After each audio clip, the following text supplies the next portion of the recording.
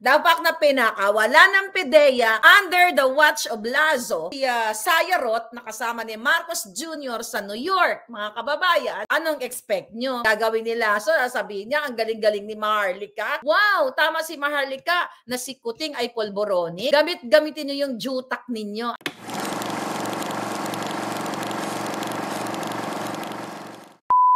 O, oh, kumusta na mga hita?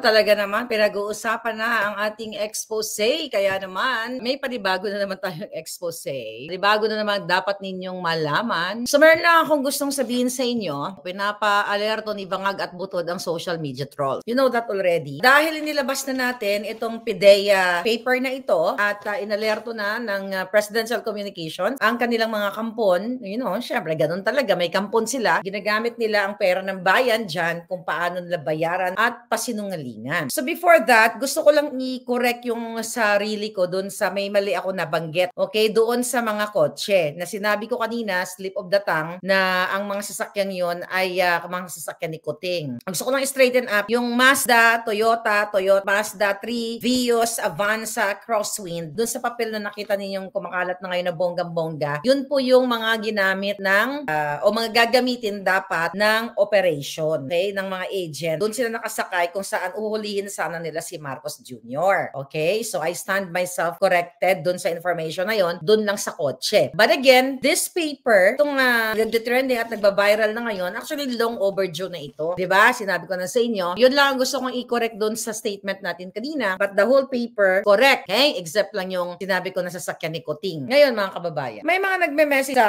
akin na Miss Maharlika, nagsisimula na ang pag-atake sa'yo.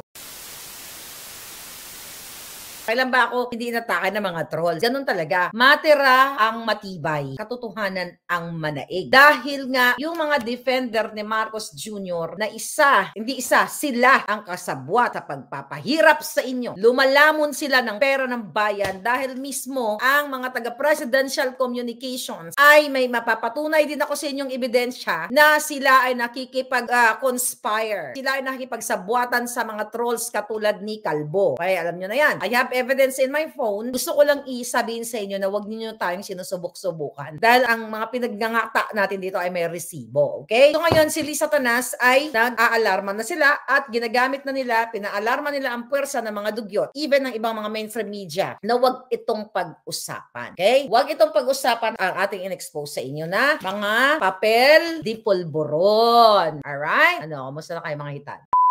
Mga kababayan, may nagtanong sa akin, Miss Maharlika, bakit mo tinakpan? Bakit ka may tinakpan dito? Na, palabas mo nga dyan. Okay. Itong artista, kasama ni Kuting, we have to respect that person. Dahil ito naman ay kilala siya sa larangan, sa mga larangan ng show business. Sa larangan ng showbiz. Kahit si Kuting, di ba, alam yan, na itong babaeng ito, babae itong uh, na-involved dito, nakasama ni Marcos Jr., based dito sa ating uh, pre-operation report as information na nakalap natin, ay babaeng artista nga na na-link sa kapatid ni Ahas. Alam nyo na yon. Binibigyan ko na lang kayo ng clue. Open naman, ayoko na siyang i-drag dito kasi ayaw kong maagawan niya ng limelight si Marcos Jr. At hindi po siya, wag na natin siyang boljakin kasi we have to respect that person. Hindi naman siya kumakamkam ng pera ng bayan. At hindi naman po siya nasa gobyerno. So we have to respect that person kasi nga nabdurog na yung, actually naubos ang pera niya eh. Dahil inuto siya ng mga demonyong kamag-anak ni Lisa Tana napakasikat niyang artista, nasira lang ang kanyang karera nung time. Buti nga bumalik eh. Dahil sa polboronic na ito. Ngayon kung ganyan ang narrative mo, Maharlika, na kung iyan ang, uh, kung yan ang titignan na Maharlika, ina, bakit itong babaeng ito, tinakpan mo, ba't si hindi mo tinakpan? Naniniwala ako, kaya nga di ba nananawagan tayo na magkaroon ng peace and order sa Pilipinas at ituloy ang laban sa pulburon. Kasi meron talaga tayong mga pamilya na sasadlak sa kapulburonan dahil nga sa sistema ng gobyerno ako mismo ang Kuting Junior ninyo ay bangag na bangag. So, di ba? So, paano na lang ito mga batang ito? Ay, itong artistang ito pinag-usapan natin. Okay. Tapos so, nagka-question sa akin, ba't ko tinakpan? Respeto natin doon sa tao dahil hindi naman siya nagnanakaw ng pera ng bayan. Siya ay biktima ng pulboronic na pinakala ng gobyerno. Kahit kasi nung nangyari ito, panahon ni Noy Noy. Right? So, ngayon, mga kababayan, kaya natin kinover yan kasi gusto nating i-highlight si Marcos Jr. ang bida. Di ba, bida-bidahan siya? Hindi siya yung bida.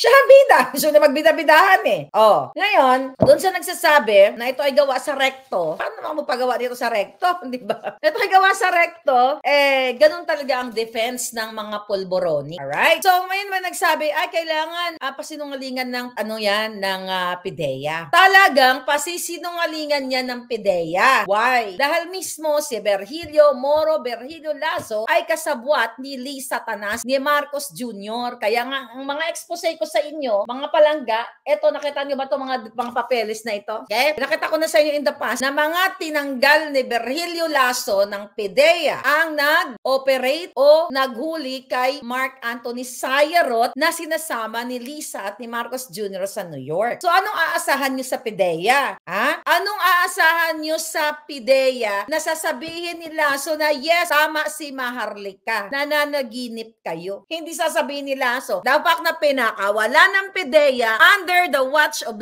Lazo, si uh, Sayarot na kasama ni Marcos Jr. sa New York. Mga kababayan, anong expect nyo? Gagawin ni Lazo, sabihin niya, ang galing-galing ni Maharlika. Wow, tama si Maharlika na si Kuting ay polboronic. Gamit-gamitin niyo yung jutak ninyo. Non-available nga yan eh. Pinalaya nga yan under his watch. So, would you expect that Lazo will deliver a statement that Maharlika is right and is holding a legit uh, paper? Na kayong umasa. Pero I challenge, kung gusto talaga ni Kuting na masira ang kredibilidad ko, si yun yung target nila ngayon. Okay? Yan yung target nila ngayon na i... i well, matagal na nila ako tina-target mga palangga. The moment I open my mouth here tungkol sa pulboronic na ito, at hindi niya ako pwede, hindi pwede pa sinungalingan ni Kuting dahil mismo, ha? Si Amy Marcos ay lumuhod kay Pangulong Duterte. Hindi ako nagsimula ng pulboron na issue na ito. Maraming kung gusto ni Kuting ito dalhin sa korte, you know, syempre gusto nila, oh, sinungaling si Marlica, kasuhan natin si Marlica, iti dalhin nyo. Ipaporensik ko to sa Amerika.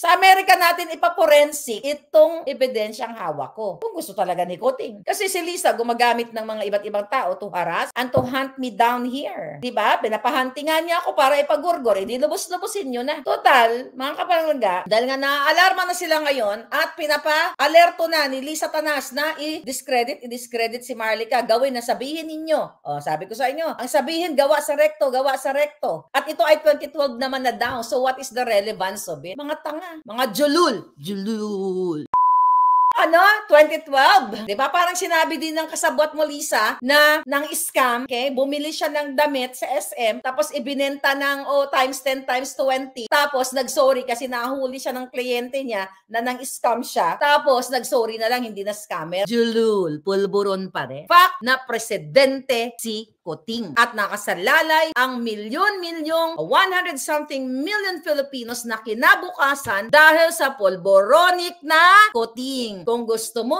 Kuting, mapatunayan ang hawak kong ito, huwag kang gumamit ng trolls. Lumaban ka head on. Wala akong pera. Head on. Huwag kayo gumamit ng trolls of mga proxy. You, Lisa, bakit kayo dumadaan? Powerful kayo eh. Bakit pa kayo dumadaan? Sumisegue kayo. Yung mga ginagamit niyong tao, lalampaso ko sa korte yan. Believe me. Hindi ako nagyayabang. Ilalam pasok kayong lahat. Okay? mga hayop to mga to. Ako, sisindakin nyo? Dahil ang tingin nyo sa akin, maliit. Tingin nyo sa Pilipino, wala yan si Maharlika. Yung napailan natin ang kaso yan kasi madi-default yan. Doon kayo nagkamali. Na underestimate nyo ang isang dugong maharlika na tunay na kumakabog. Kumakabog-kabog aking dibdib. Di ba? Kapag tumibok ang puso, lagot ka, Liza. Di ba? Lakas makadona. Anyway, thank you very much. Babush.